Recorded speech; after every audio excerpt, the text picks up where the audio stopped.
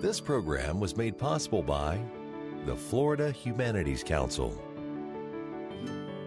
We come from all over, and we become one state, where we share in the history and become part of the culture that is Florida.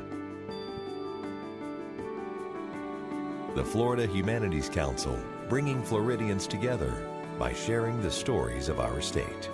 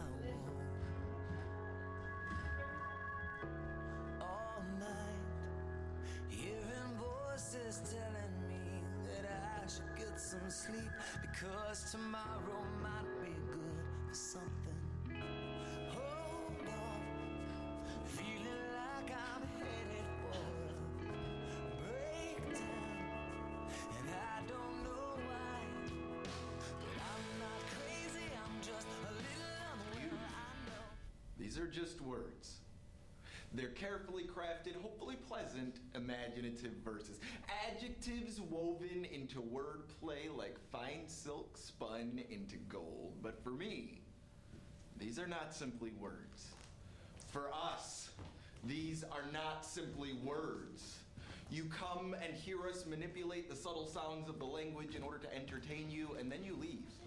You take with you the interesting bits of our souls that manage to break through to your psyche, and maybe approach us after the show and tell us how much you enjoyed it. But for you, that's all it is a show. Something to liven up your evening and perhaps offer fodder for future conversations. But you know, the truth is, for me, these are not simply words. For us, these are blood red drops of our souls spilt upon this page after penetrating our hearts with this pen. These are dreams and nightmares ripped from our heads and laid bare before you to see and judge them. These, are not our poems. These, are our truths. We come out here, lay down our arms, lay open our hearts, and give to you a part of us that many don't get the opportunity to see. And yet, it's because we do that that even those closest to us have been guilty of not realizing what we're truly saying. These, these are our words, but they are so much more than that. I grew up in Madras, Oregon. It's just a small farming community. Both of my grandfathers served during World War II. And my grandfather on my mother's side, he actually fought in the Battle of the Bulge. And he was captured by the Germans and spent nine months in a German POW camp before he was able to escape. Now, it's 1986. I just graduated from high school, and the movie Top Gun just came out. And I saw that, and I wanted to be Maverick. So I walked over to the Navy recruiting station. And I sat down in front of the recruiter. I was like, I want to fly jets. Sign me up. But he took one look at my glasses and. No way! Okay, so I walk over to the Air Force recruiter. Same thing, sit down. I want to fly jets. Sign me up. But again, he takes one look at my glasses and. No way! So I go and I talk to the Army recruiter, I talk to the Marine recruiter, and the Army. The Army just gave me a better deal. So I ended up signing up for the Army as a personnel administrative specialist. Michelle, come on down here. So I'm an Army brat. My father is an Army intel officer. My mother is a Vietnam medic enlisted. We followed them all over the world, from Miami to DC and back. I lived in Germany for five years. My parents retired so that I could have a stable home life and education, and we moved to Orlando. I went to Winter Park High School and I graduated from UCF. And by the time it was all done, I was a local girl. But I missed the military lifestyle and I liked traveling. I hit a wall somewhere after college. I knew I wasn't going to settle down in Orlando. I said, F it, I'm going in. And I went in the Air Force in 1996. Harlan. When I was very young, my father was a branch manager of a scientific equipment company. But he got laid off and he never found an equivalent paying job. But my mom wanted to keep the house. So we lived in an upper middle class neighborhood and went to middle class schools, but we didn't have money. I was the kid in Walmart clothes when everyone else was wearing name brands. I didn't fit in, so I got ridiculed and beat up a lot. I hated school. I had no interest in going to college, but I also didn't want the kinds of jobs you can get without a degree. I'd been in Boy Scouts. From there, I got drawn into junior ROTC, and I al- always wanted to fly. So when I found out you can fly helicopters in the Army without a college degree, I was like, sign me up. That was 1997. Um, I grew up in Utica, New York with my mom and sister. I had a bit of a tumultuous relationship with my mother growing up. She's, a she's schizophrenic and a recovering drug and alcohol user. She'd disappear for weeks, even months at a time. While she was in and out of rehabs, we were in and out of the foster care system. When I was 15, I moved out of the house. I worked at Wendy's and I slept wherever I could. I went through a bit of a rough patch with drugs and alcohol, but somehow managed to finish high school. I'd been in ROTC and my cousin had just gotten out of the military, so I saw that as a viable way to gain the experience that I needed. So I'm walking home from school one day and a recruiter pulls up beside me. He rolls down his window, looks at me, and says, Can I give you a ride? Next thing I know, I'm giving my mom the papers to sign me over to the military. I was only 17 at the time. At first, she refused, so I said, Fine, don't sign. But when I turn 18, I'm going anyway, and you'll never see me again, period. Of course, she signed those papers, and I joined the Army in 2006.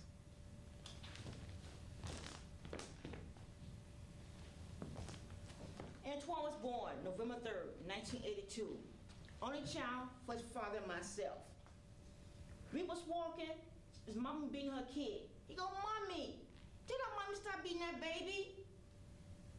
Anybody smaller than him, he was protective. He was in church at age two weeks old until enter the military. Church, home, and school, shy student. Only listened to contemporary music. He was a 3.8 GPA student and from preschool unto senior high. And when he did his homework, he would listen to the radio, he would watch TV at the same time. I was in um, Middle School, 1995, 1996. I put him in the music department. I was a um, president for Horace Mann Music Department, uh, volunteer parent. So we making our rounds around the school. We opened the orchestra door. We walked in. He go, "That's what I want to play, the viola." So at this point, we moved here to Orlando, 1999. He had to go through Orange County School Board Administration to audition to get in Dr. Phillips Music Magna, number one top school even to today. 1999 to 2001, he was second chair. I struggled to raise him. I couldn't give him everything he needed. That hurted me. So in 10th grade, he decided to go to work. I go, no, I'm responsible, not you. So he decided to go into the military to not have college debt, serve his country for all his um, other military people, and get a better neighborhood for us to live in. One day he said, Mom, I need you to be home. More than one time I go, why? He invited every military recruiter, Army, Navy, Air Force, to come certain time, certain day.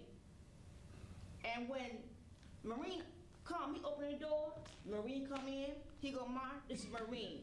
And Antoine wanna sit down, the Marine went to him and go, we gonna give you hell. We don't give you no breaks. We gonna wear you out. He jumped up. That's what I want.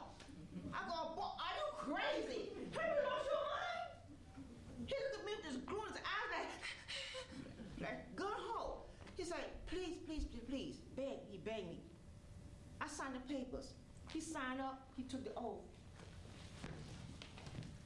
I do solemnly swear that I will support and defend the Constitution of the United States of America against all enemies, foreign and domestic, and that I will obey true faith and allegiance to the same, and that I will obey the orders of the United States of America and the orders of the officers appointed over me according to the regulations and the Uniform Code of Military Justice.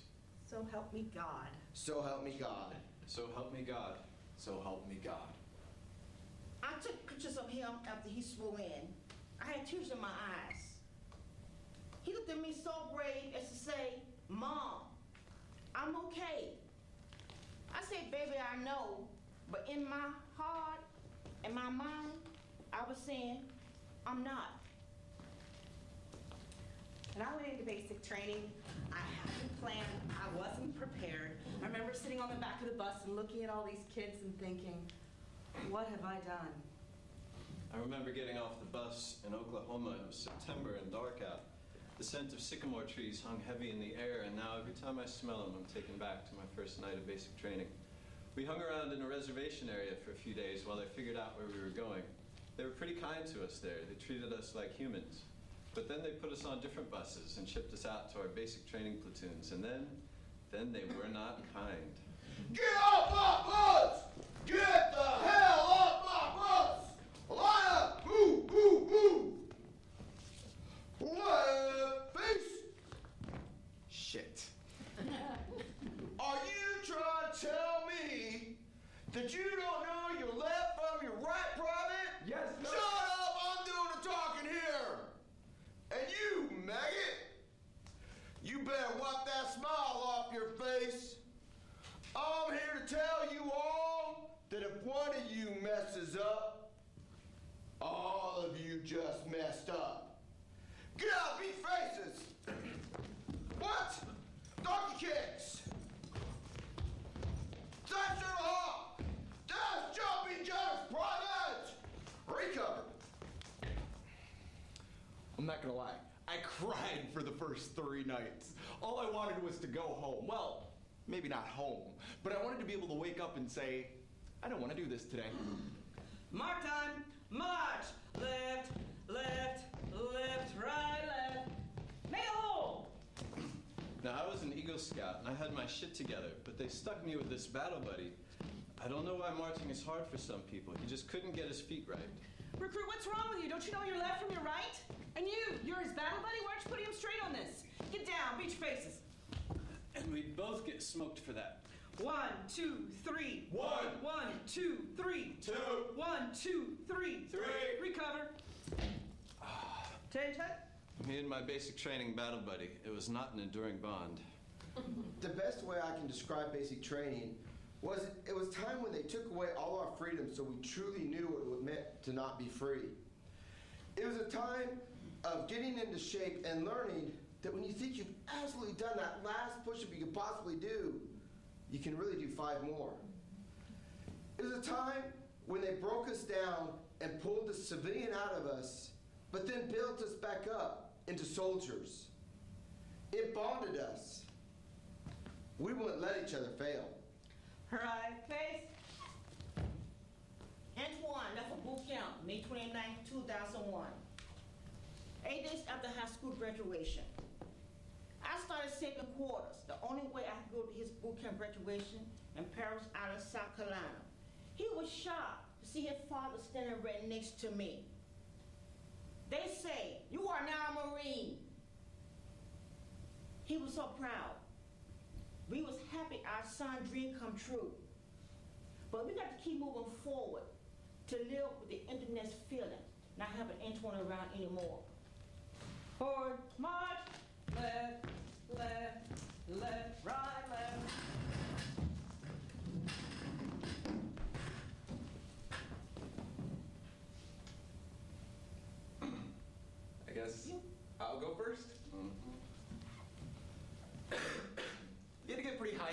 on the ASVAB to do my MOS, the military occupational specialty. I was mortuary affairs, and it was a very mentally taxing job. We assisted with the autopsies of soldiers who died overseas, as well as processed their personal effects, all the things they didn't have on them when they died, such as journals, letters, computers. You had to get a security clearance to do this job because one of our duties was to go through those journals, make sure that there was no sensitive information contained in those letters or on those hard drives before we sent them back home. We were also trained in how to be sensitive to the religions of the deceased service members because we were the ones performing the funeral ceremonies. We were the ones carrying the caskets. I was trained in Fort Lee, Virginia.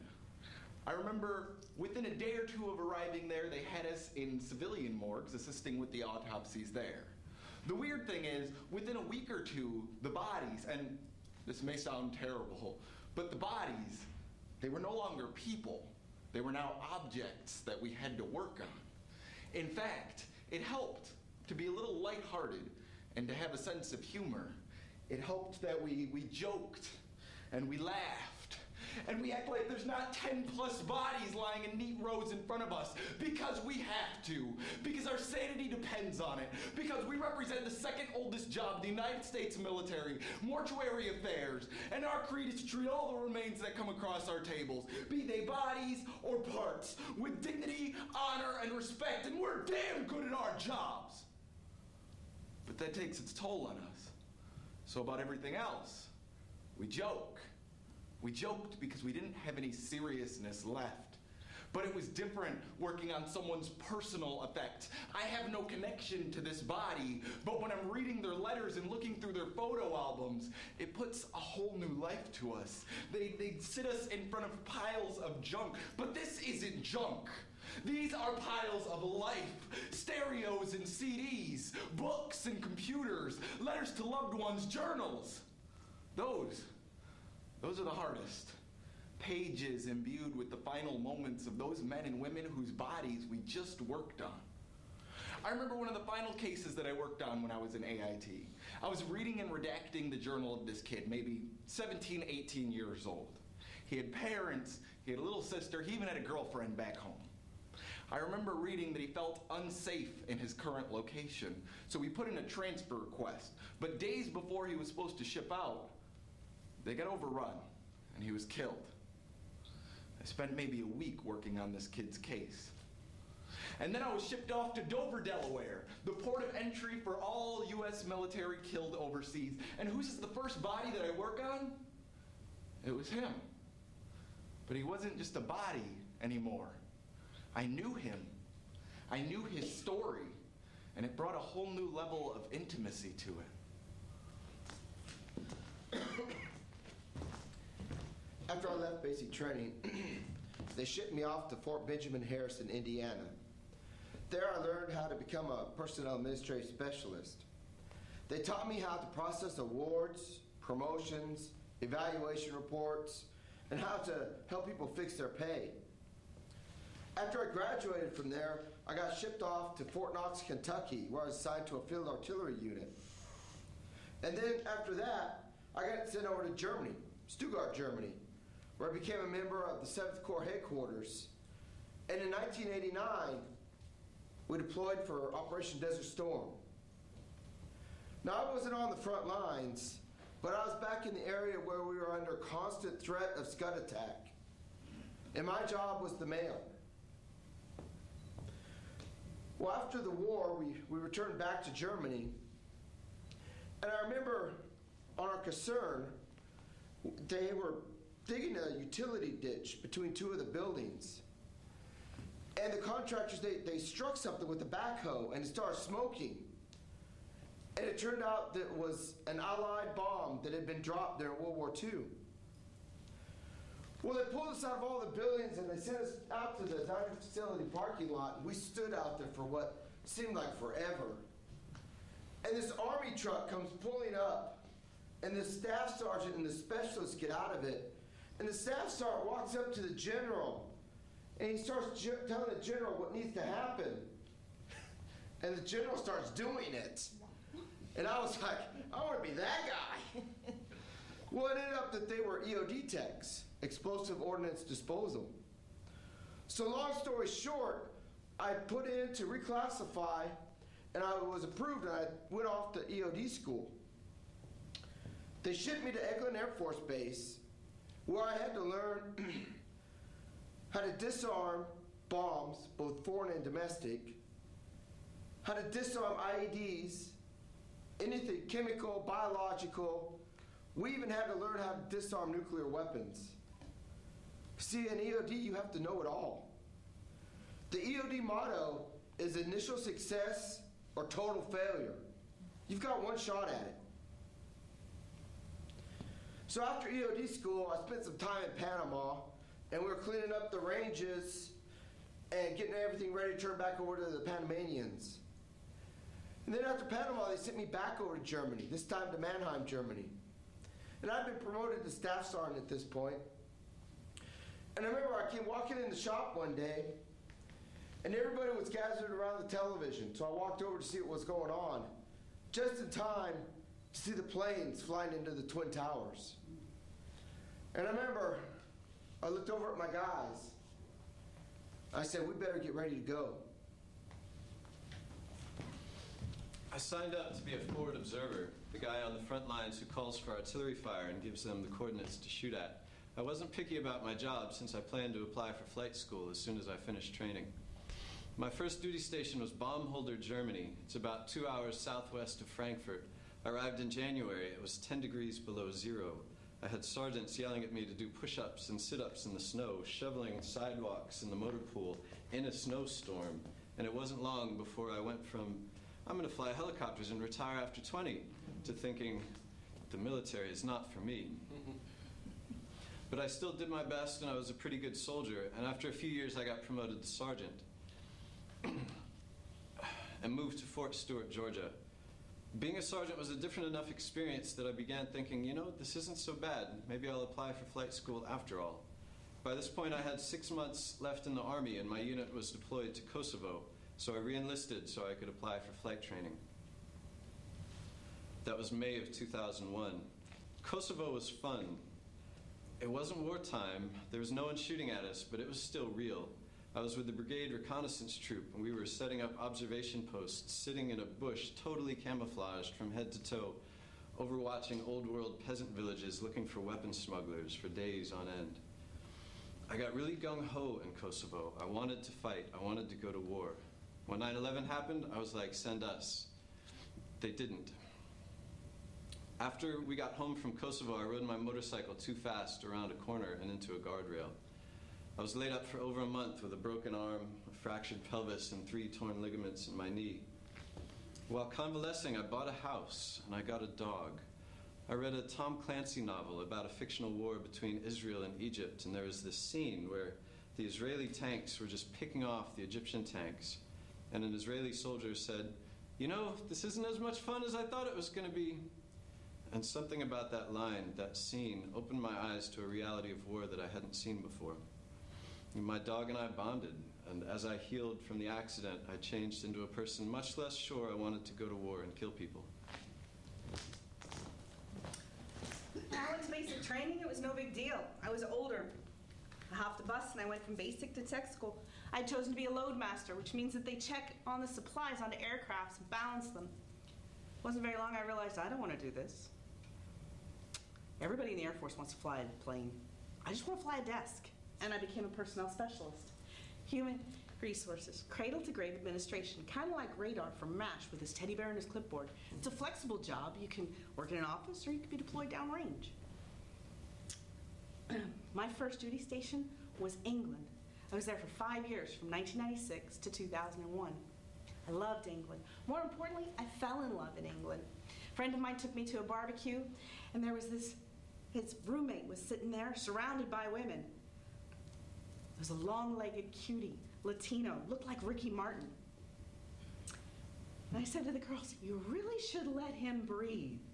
And he said, Ja, room to breathe. he had swag. And seven weeks later, we were married.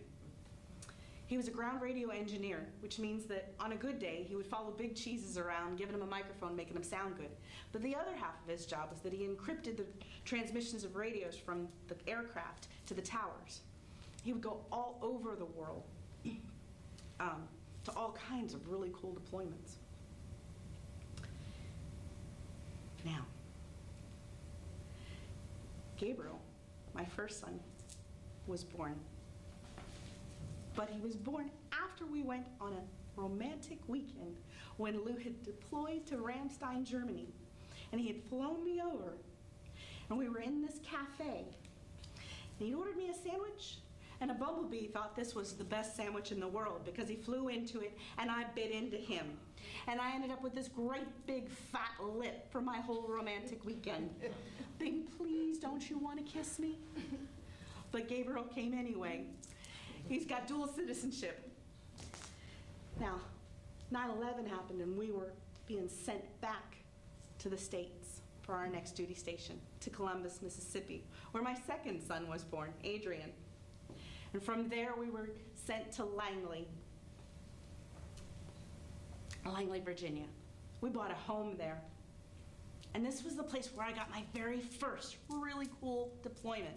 Because all the while that Lou had been traveling all over the world, trans- transmitting messages from Navy helicopters to Marine bases, I had been shoveling paperwork. But I got to go to Panama with six jet fighter pilots to protect President Bush while he was in Panama for the Conferences of America on Poverty.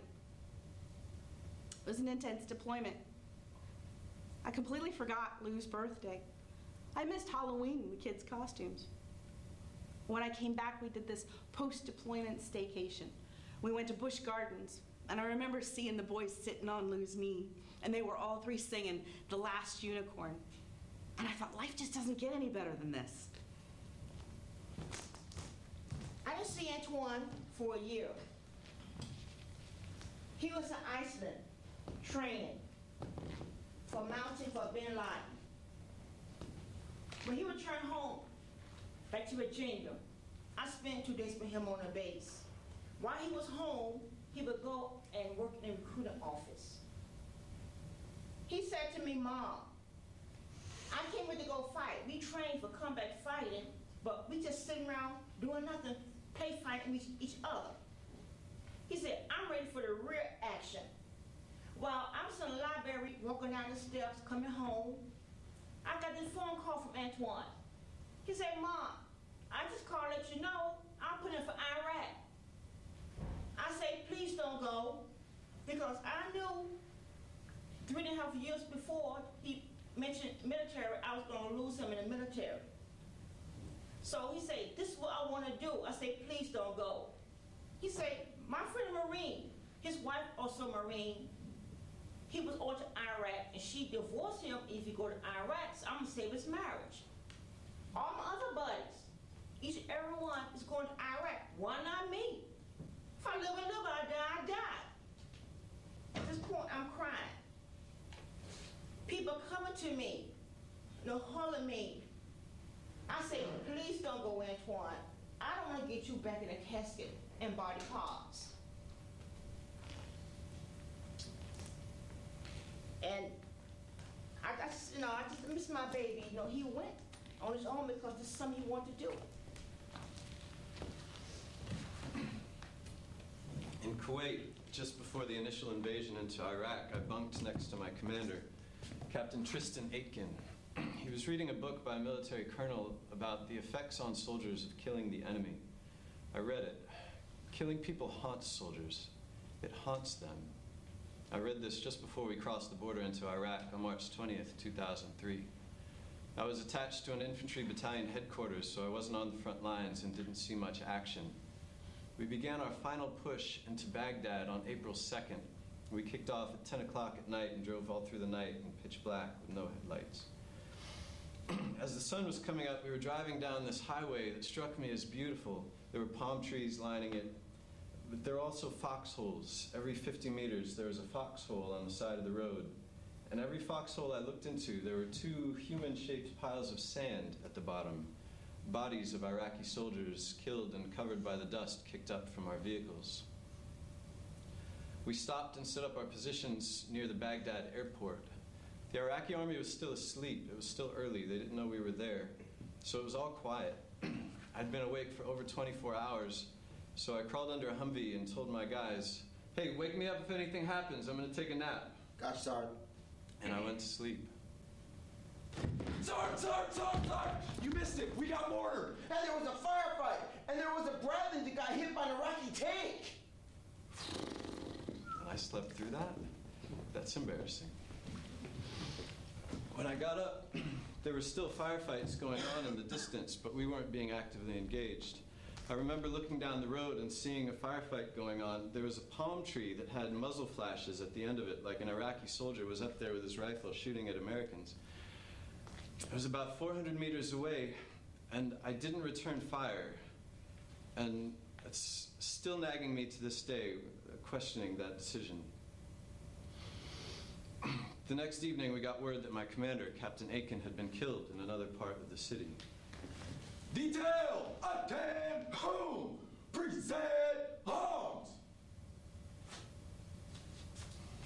Captain Tristan Aiken of the 41st Field Artillery Battalion, 3rd Infantry Division at Fort Stewart, Georgia, of State College, Pennsylvania, died of injuries sustained from hostile gunfire in Baghdad, Iraq on April 4th, 2003. Order! Arms! After he was killed, I was so angry. For the first time, I saw the Iraqi people as my enemy, and I kept thinking about this guy that I had seen as we drove in, who looked at me like he wanted to kill us. And I thought, what if he was the one that killed Captain Aiken? In that moment, I decided that the next person I see that even looks at me wrong, I'm going to shoot. Everything in me wanted to kill in that moment.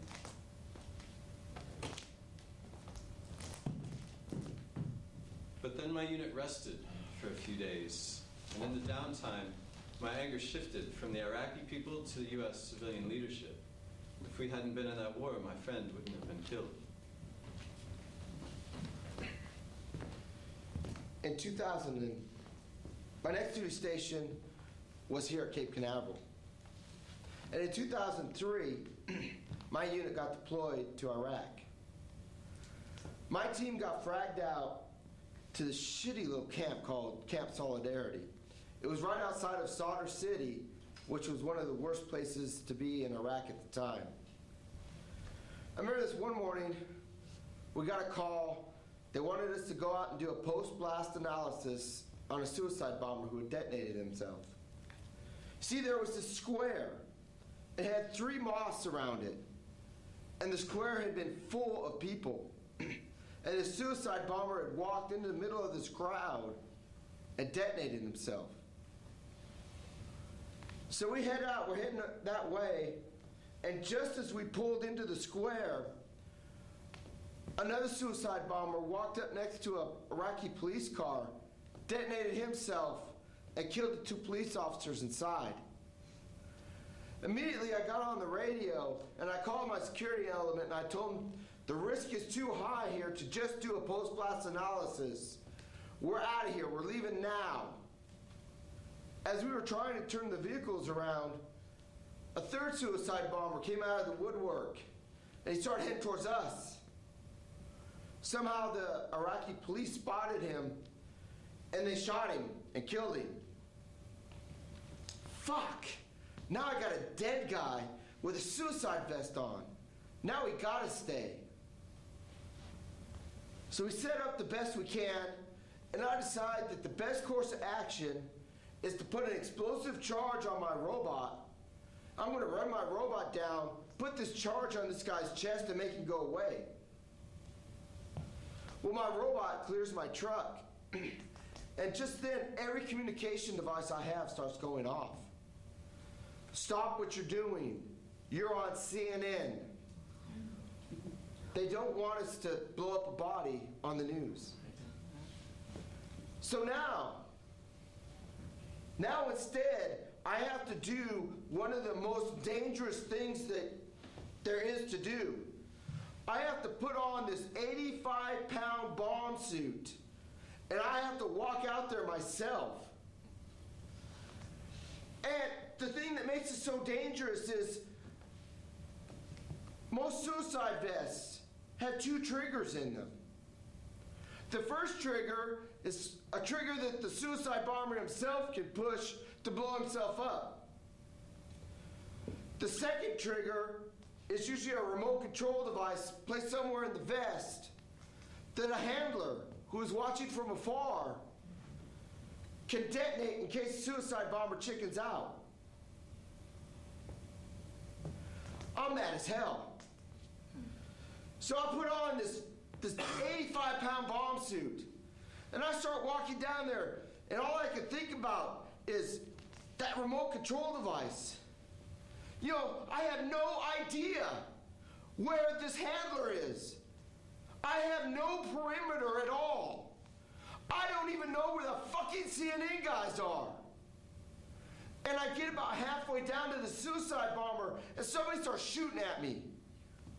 I got bullets ricocheting all around me, and I'm trying to move as fast as I can at 85 pounds of suit. But I'm here to tell you, you don't move very fast. I hear a bunch of shooting off in the distance, and the Iraqi police come back out and they give me the thumbs up. They've shot and killed the shooter.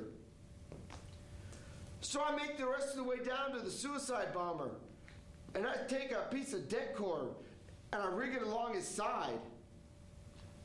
But my det cord has a plastic cap on the end of it. I really don't know how that got there. Because, see, at this point, I really don't give a shit anymore. So I set it up, I walk back to my truck, and the suicide bomber blows up.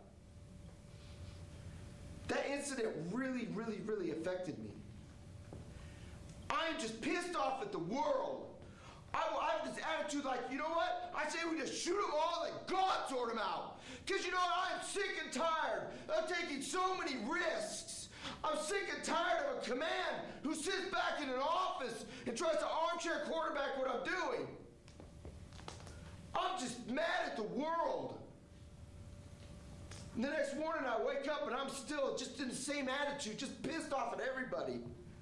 And we get this call. Iraqi Police Station, they collected some explosives and they want us to come and take care of them. So we go out there, and the, the explosives are in pretty bad condition. And I want to put them in the back of my truck and transport them. But there's an open field back behind the police station. But and so we're going to go out there and we're going to blow them up out in this field. But to get to this field, we have to cut through the neighbor's yard.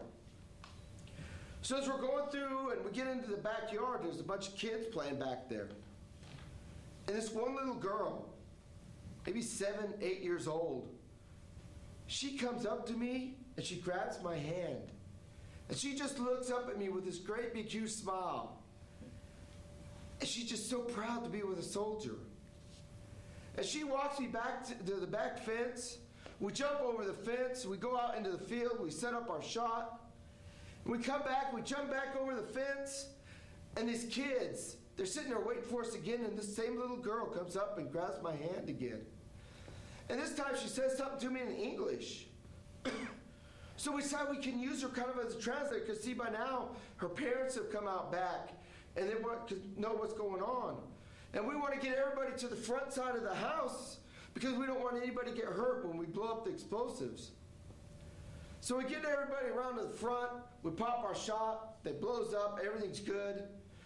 And this little girl, I notice that she's eyeing this really colorful pin that I have stuck in my vest that I've been using to write my reports.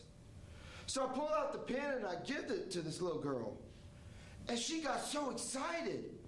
You would have thought I just gave this girl a brand new BMW. and then her dad, her dad comes up to me and he smiles and he reaches out and he shakes my hand. He can't speak a lick of English, but I'm here to tell you that was one of the best thank yous I've ever had in my life. And I decided right then and there, from that day forward, the reason that I was over there was for that little girl and what she represented. See, I wanted that little girl to be able to grow up someplace safe. Unfortunately, they pulled all of us out of Iraq before we could get that job done.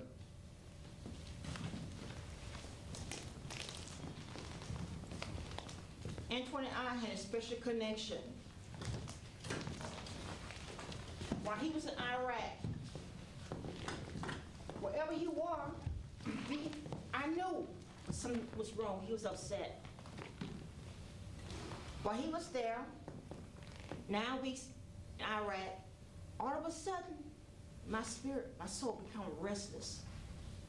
I was just irritable, nervous. I need to talk to somebody. I don't know what to say. I don't know how to get started, but nobody will understand.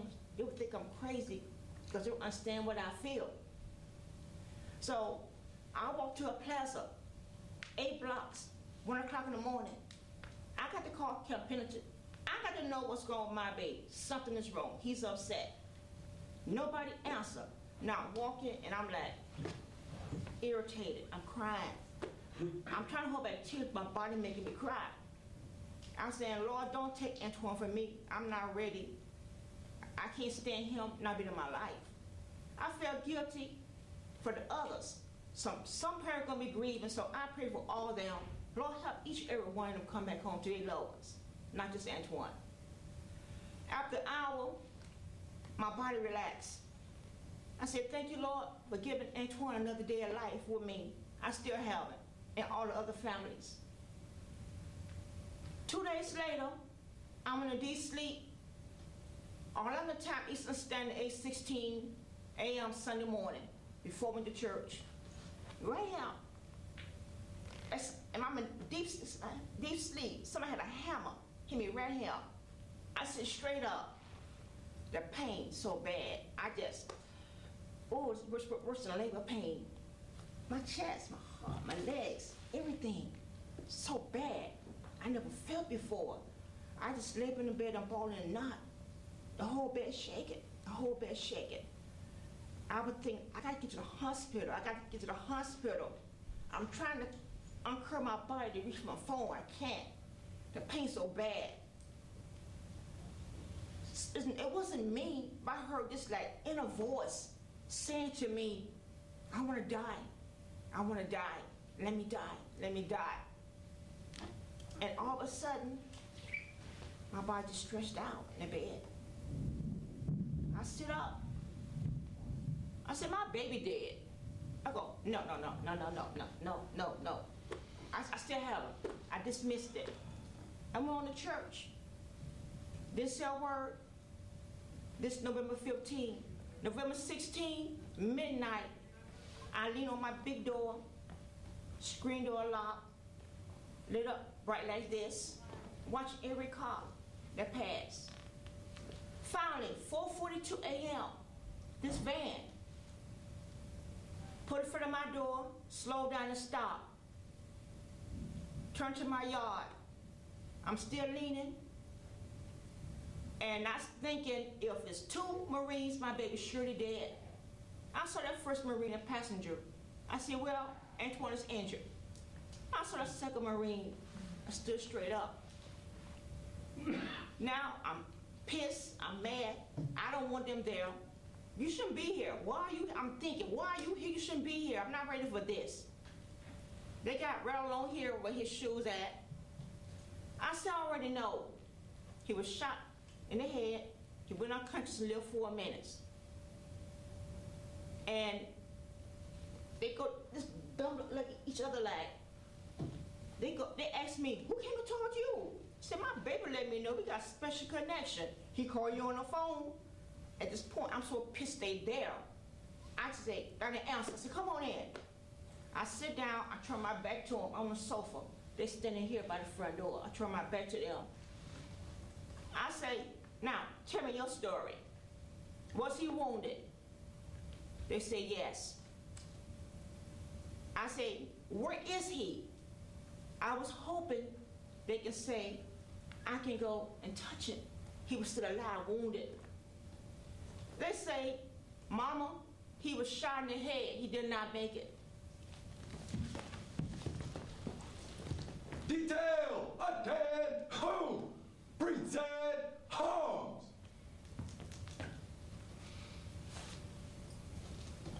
Lance Corporal Antoine D. Smith of Orlando, Florida, and of the 3rd Battalion, 5th Marine Regiment, 1st Marine Division, 1st Marine Expeditionary Unit, died of injuries sustained from hostile gunfire during combat operations in Fallujah, Anbar Province, Iraq. On November 15, 2004, he received the Navy Marine Achievement Medal posthumously. Order! arms! I began throwing things off the coffee table, just slanging against the wall. And I walked into his room, opened his door, and I laid in his bed. Well, he once laid. They said I passed out while viewing his body, and I, I was heavily sedated. They called 911, hospitalized me overnight. I was heavily sedated at his funeral service.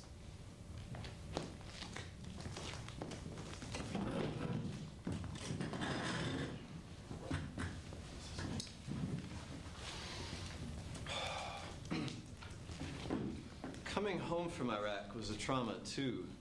I'd spent six months in a tightly bonded brotherhood, and then I was in my house alone. Captain Aiken was dead, and what was this war about, and why?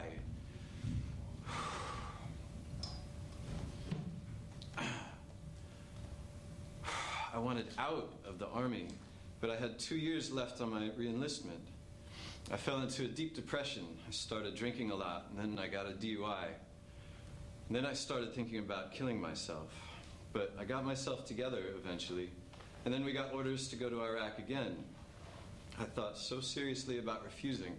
It wasn't my war, I didn't want to go. But in the end, I was more afraid of the dishonorable discharge than I was of going to Iraq. And two, there was Kyle, this 19 year old kid. He was fresh out of training and brand new to our unit, put on my team. He was 19 years old, he had a 17 year old wife, they had a two month old baby. If I refused, he would get stuck with another chief, someone who was maybe a hard charger and might get him killed. So I went.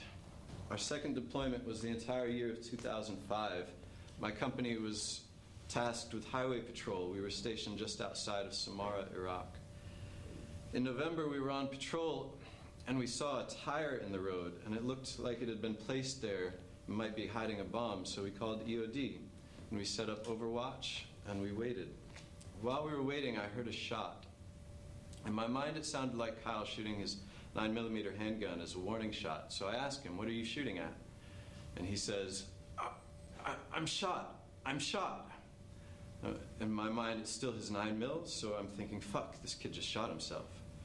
And I look, he's standing beside me in the turret of our truck, and his gun's still in the holster, and his leg's fine, so I'm like, hmm.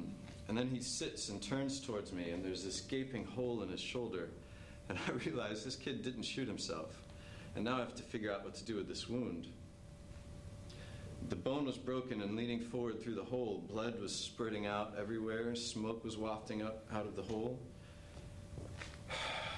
And they'd issued us these new bandages. They called them Israeli bandages.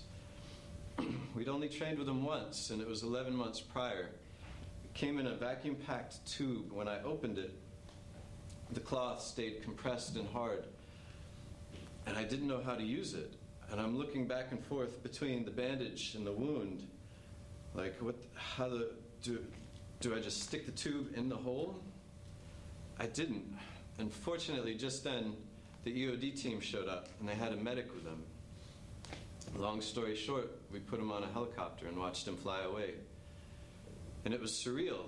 This kid that I'd been responsible for for the last year is now gone. And he's alive, but gone. And tomorrow I have to go back out on patrol and there will be someone new in his seat. And tonight I have to clean his blood and chunks of flesh and bone from my truck.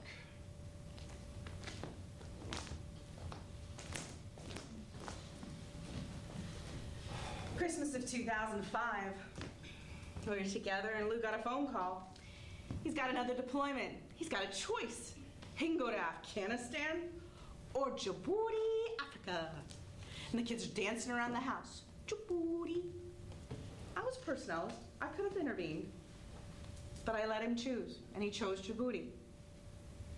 So on February 5th, I put him on a plane, and off he went. I remember packing his Valentine's Day gift. He called me, he said, I forgot my passport. Could you send it to me? And I stuffed it into the Valentine's Day gift and sent it off. February 16th, he calls to tell me I love you. I That's nice. I'm not working tomorrow. Tomorrow's President's Day and I'm off. Call me at home. Love you. On President's Day, the kids and I went out, cleaned the house, had a great time. Ended off the day at Sonic. And as we're pulling away from the restaurant, we're at the red light, and I get this really eerie thought or feeling or voice. And it says, I can't stay. I have to go. I'm no longer needed. I look up, light turned green, and off we went. Popped the kids into the bubble bath, pajamas. 11 o'clock that night, I got a, no- a knock on my door. Was a young medic, the chaplain, Lou's commanding officer, and my commanding officer. They said that Lou had gone missing in a helicopter collision over the Gulf of Aden. They didn't know where he was. I turned to my commander and I said, You don't walk away from a helicopter crash. He said, You don't know that. And the medic came forward and said, Do you want us to stay with you? I said, No, please, you're no good to me here. Go home to your family. And the minute the door closed, I got on the phone to every intel officer I'd ever met or worked with, every medic downrange that I could find. And about 10 o'clock the next morning, I finally got a hold of someone that he and I, that Lou and I knew in England. Only now he's the supervisor of casualty at headquarters. This is Michelle. I'm so glad you called me. Lou didn't make it. We've notified the next of kin. It's your responsibility to tell his family in Puerto Rico. In that phone call, you could hear them throwing furniture and screaming. They were angry. At that, I asked the casualty team to tell my children, but the boys were too young. They just didn't understand.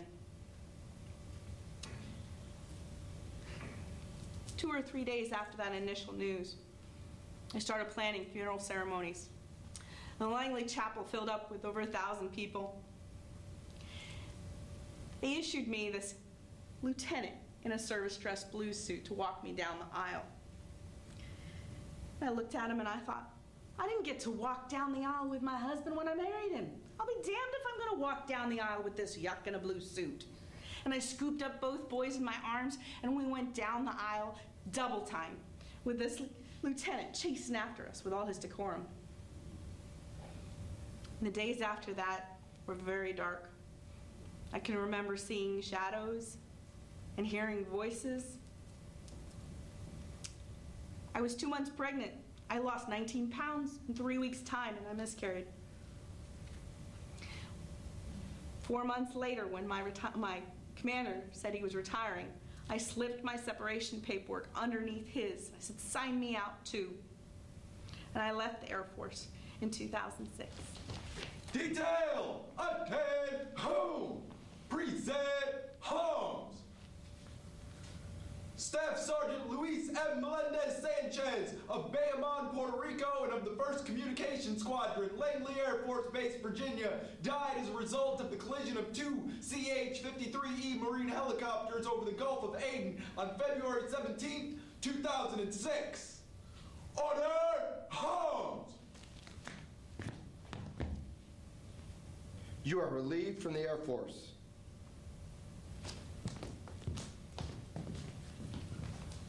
In 2006, they deployed my unit to Afghanistan. Now, compared to my last deployment to Iraq, this deployment was a, a walk in the park. I mean, we had incidents and we had problems, but there really wasn't anything really life threatening. And then when I returned home after that deployment, I started having a lot of personal problems. I couldn't sleep. I was losing control of my emotions. I was getting angry all the time. And I was starting to drink. Enough to the point to where my wife started complaining about it. So when I went to my post deployment physical, I reported it to the doctor. And the doctor sent me over to the uh, mental health folks right away. And they diagnosed me with PTSD. But I, I was confused because, like I said, you know, this, this deployment had been a cakewalk compared to Iraq. And the way they described it to me is it's like you, you have a pot up in your head. And every time you go through a traumatic event, they pour a little bit of water in that pot. Well, when I had left Iraq, my pot was full. And with the few little things that did happen in Afghanistan, it was enough to make my pot bubble over. Well, my PTSD had kept me out of the fight for a while. I ended up going to Fort Stewart, Georgia, and I was training EOD techs coming right out of school. But then in 2009, I got deployed back to Iraq. They needed platoon sergeants over there. By now, it had calmed down quite a bit. And then, after we returned from Iraq, I spent my last three years of service up in Fort Drum, New York. And then in 2012, after 26 years of active duty, I retired.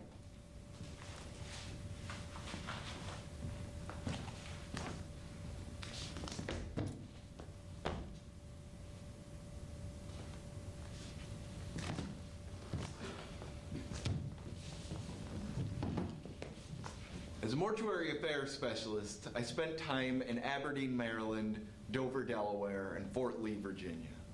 But over time, this buildup started happening within me. If I had to affix blame to anything in particular, it wasn't the bodies. I'd learned to deal with them no problem. I'd perfected my defenses early on. But as time passed, those defenses began to crumble. We were working on kids who were the same age as us. I'd learn these personal details about them and begin to assign them to myself. This guy likes chocolate ice cream. I like chocolate ice cream. He likes pizza. I like pizza. He likes this type of girl, and so on and so forth. It was all becoming difficult to process.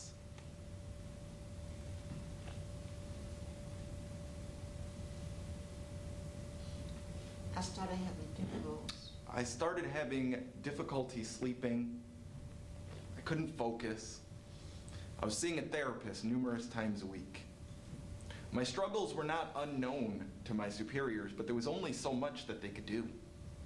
They put me on Depakote and Trazodone, but I always felt like the medication was more for those around me than it was for myself. Because the medication, it would stop me from reacting negatively, stop me from breaking down in tears, but inside of my mind, it was all still there. I still wanted to cry, but now, without any way to release that, I felt like I was suffocating. And to make matters worse, my personal life was getting piled on top of it. My grandmother had just died. I got into a really fight, ugly fight with my girlfriend, so bad that I went into the bathroom, punched the mirror, and almost cut off my thumb. It was all just becoming too much to handle. And that night, sort of clicked in my mind. I texted a friend of mine. I timed it very specifically so that no matter what she did, it would be too late. And then I I attempted to end my own life. They they say they say that they can't understand how anyone could be so selfish as to take their own life. Well, I say, I say that I can't understand how anyone could be so blind as to see someone set on fire every single day and not understand why they might want to put out the flames. They they put me in a psych unit. This was not the last time that I'd attempt to take my life. And it was not the last time that I'd end up in a unit like that. Long story short, I was no longer fit for duty. They wouldn't let me change my MOS, so they discharged me. I was damaged goods.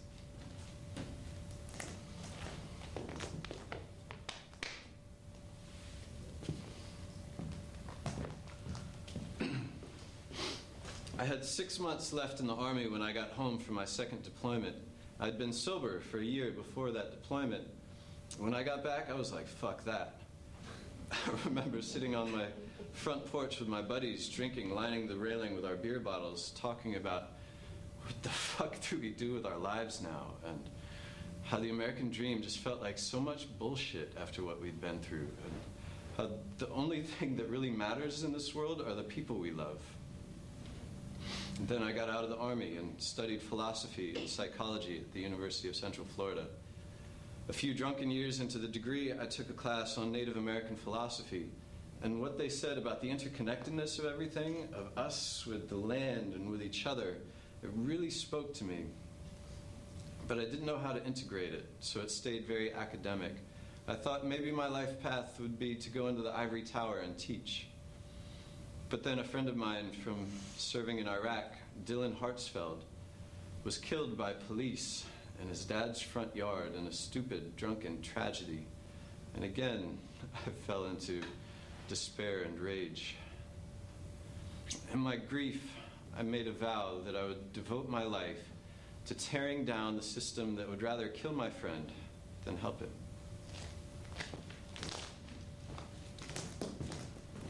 I signed out of the Army on a Friday, and I started a civilian job the very next Monday, working for a company that built industrial boilers. One of the worst things I could have ever done.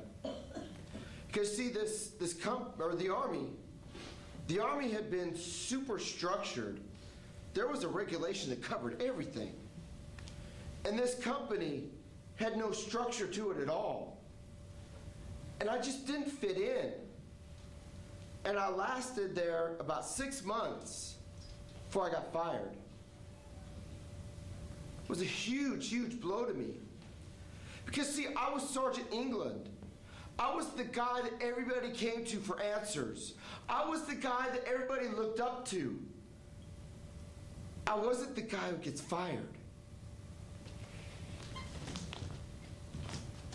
By the time I got out, I was still trying to process the fact that I was still alive, let alone the fact that I was no longer a teenager. My entire adult life had been spent in the military.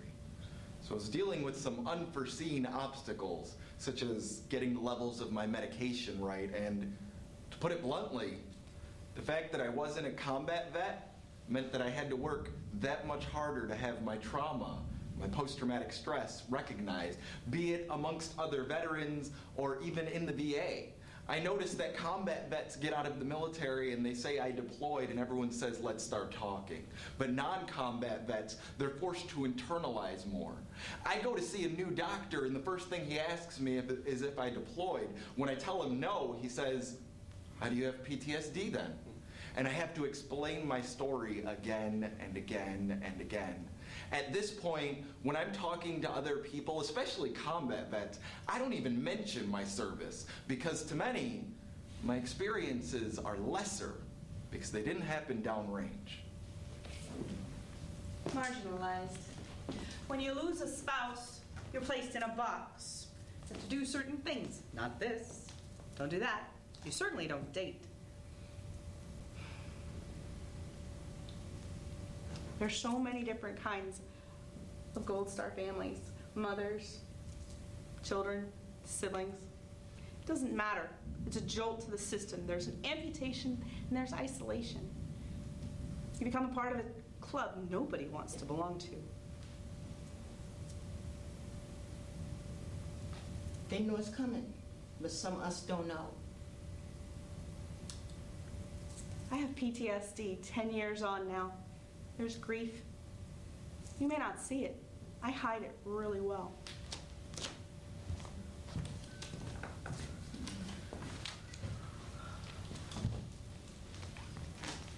Remind us of Antoine. Places, colors, words, and food. I gave him a final wish for me. He wanted a T-bone steak. Even have the picture, the food he left on his plate.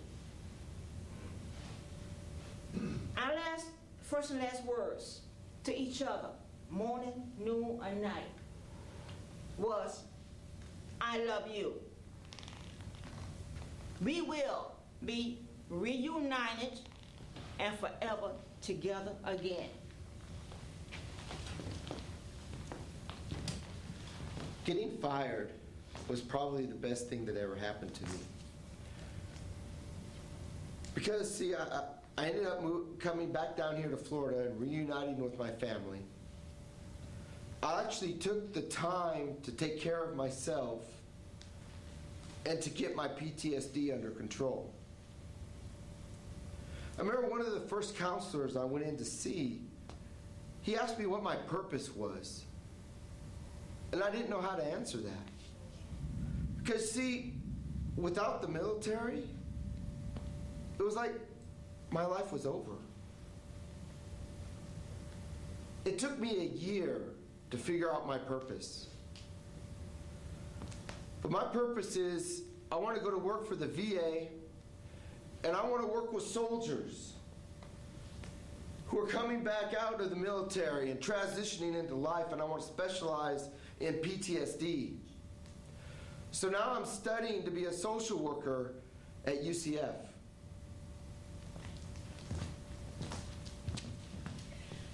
After I got out, I made one bad decision after another. I got into a bad mortgage. I sold our home because it was directly underneath a flight path of helicopters. I moved back to Orlando and I took one useless college course and then another. Eventually, I figured out the kind of help that my family and my boys and I needed. I got my master's degree and I went back to the VA as a work study. I got scooped right in. And the office they put me in to work was the third most hated place to be in the whole VA. And by the time I was promoted out of it, it wasn't even on the director's radar. I fell in love at the VA with PG, the candy machine mechanic. And he's been romancing me with honey buns every day, every day since. My kids see me going to college, graduating, working, doing normal things that normal people do. There's stability there, hope.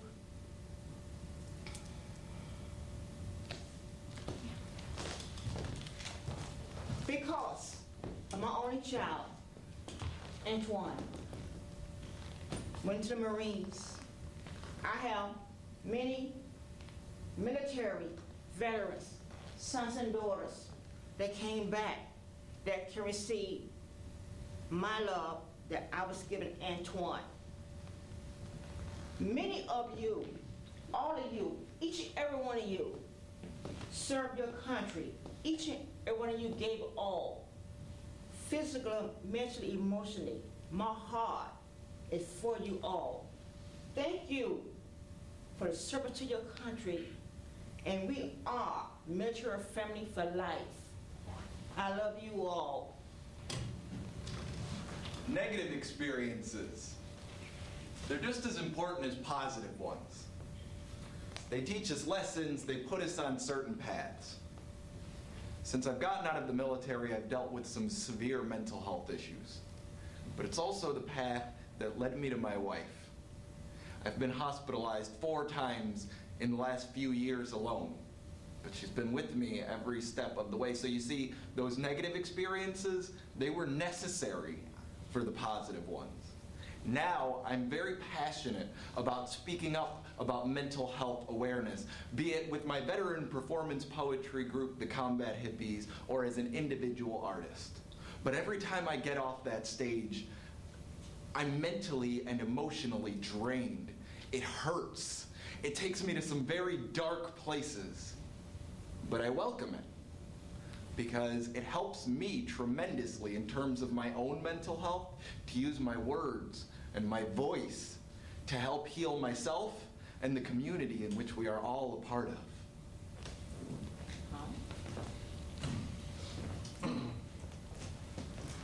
I think I'm on a good path now, and there's some light at the end of the tunnel for me, but I'm just one.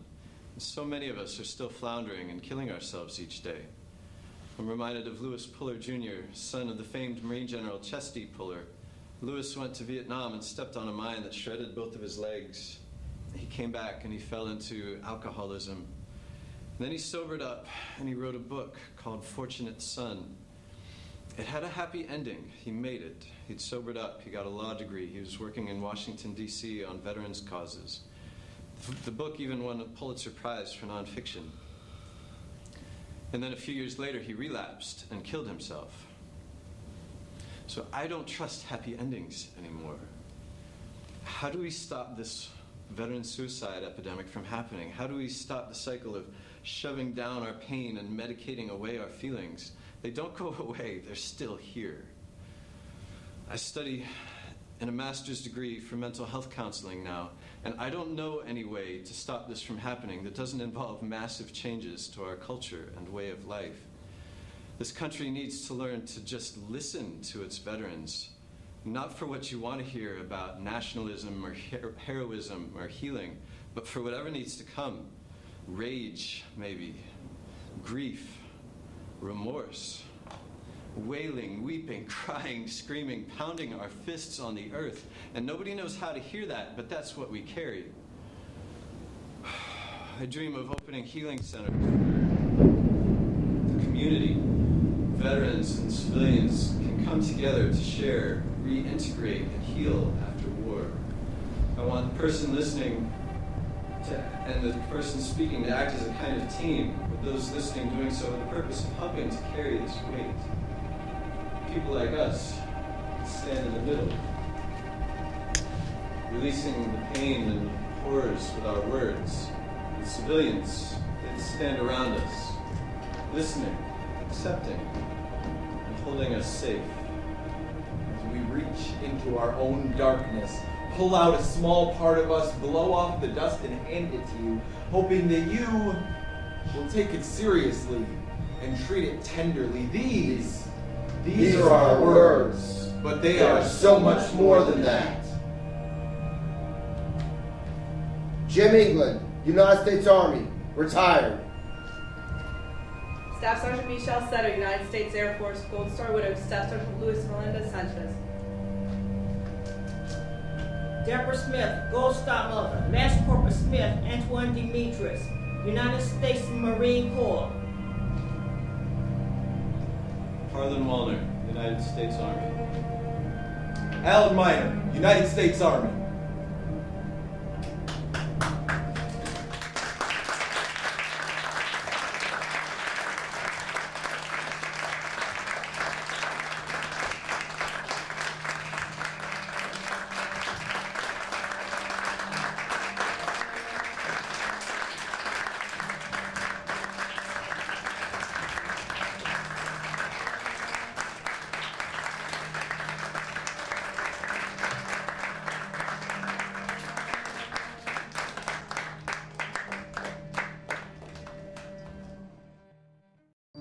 Program was made possible by the Florida Humanities Council. We come from all over, and we become one state, where we share in the history and become part of the culture that is Florida. The Florida Humanities Council, bringing Floridians together by sharing the stories of our state.